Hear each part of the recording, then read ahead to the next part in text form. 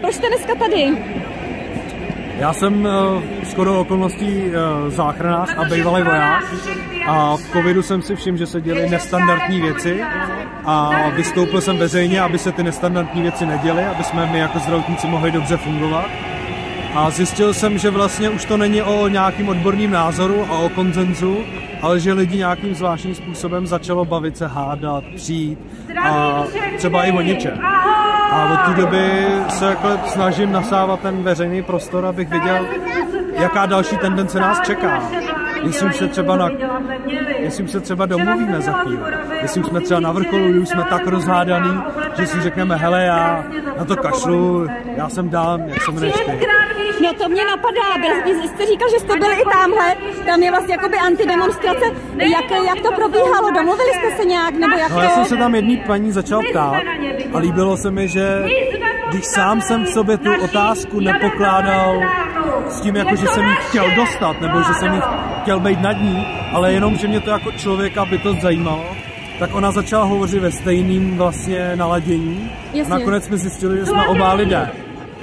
A že ten strom můžeme vidět každý z jiné strany a přijít se o to, anebo si říct, ano, ta realita je podivná, let když se tváří, že to každý vidí jinak, ale nakonec máme každý jenom jedno srdce.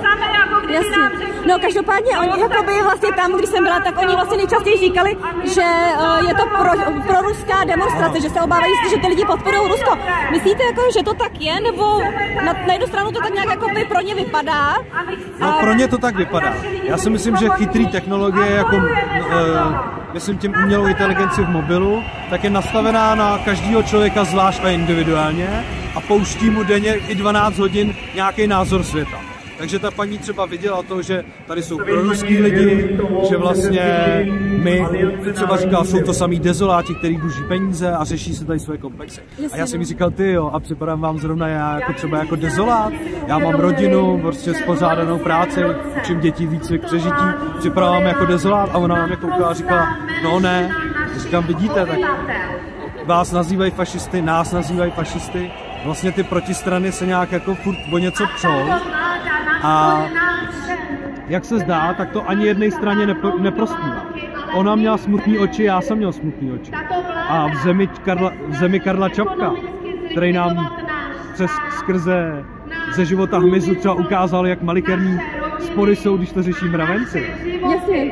A nebo skrze roboty, když vlastně odezdáme práci za nás někomu jinému a my vlastně už nemáme co dělat a přestaneme být lidmi, tak myslím si, že tenhle národ, který je tak poučený, tak na to brzo přijde. Protože tohle ho nebude bavit. A jak to dopadlo? Takže jste vlastně se, popovídali jste si asi v pohodě teda nakonec? Nebo... No já si myslím, že je třeba hledat společný mosty, protože naším Jasně. s národním symbolem je Karlův most, který spojuje dva břehy. Jo? A že myslím si, že já jako člověk můžu přece tvořit ten most. A můžu tomu člověku přistupovat ne jako k politické bytosti nebo subjektu, ale jako člověk k člověku. A já jako záchranář musím všechny léčit stejně. A je mi jedno, jestli patří ke komunistům, k Rusům, k Ukrajincům. Je mi to úplně jedno.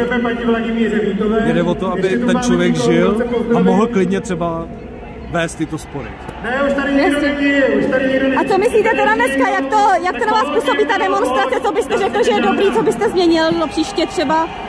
Jo, já si vždycky myslím, že vlastně je velký rozdíl mezi tím, když jste tady a zažíváte to, a, velk, a, a pak jako když to sledujete v tom internetovém prostoru. Jo, že myslím si, že mnoho lidí sem třeba jezdí kvůli tomu, že si hezky popovídá. Že, se, že lidský setkání, to setkání, je vlastně důležitější než to internetové setkání, kde vlastně jsme jako, nejsme jako lidský bytosti. Ale to osobní setkání v nás jako lidech probouzí něco, po čem je nám třeba dobře. A dobře se spí. Takže si myslím, že je dobře, že se lidi sešli, že diskutujou a že mají pocit nějaký opory, že leskdy mají pocit, že jsou na to úplně sami. Jo? Ale jak se jasně ukazuje, 10% populace je silně hypnabilní, které jsou lehce ovlivnitelný a 10% zase inverzně vůbec ne, se nedají zhypnotizovat. Až těch 40% mezi tím tvoří nějakou jako masu hrubou. Takže naším úkolem není někoho přesvědčovat, protože je to hloupost někoho přesvědčovat, ale naším úkolem je se setkávat, když něčemu rozumíme, aby třeba i jako my, jako zdravotníci, jsme v příští krizi covidu věděli líp, co máme dělat a mohli jsme těm lidem efektivněji pomoct a nezapojovali do toho třeba politiky, který z toho udělali nějaký biznis třeba nebo nějaký svoje zájmy. Jasně, dobře, tak děkuji moc.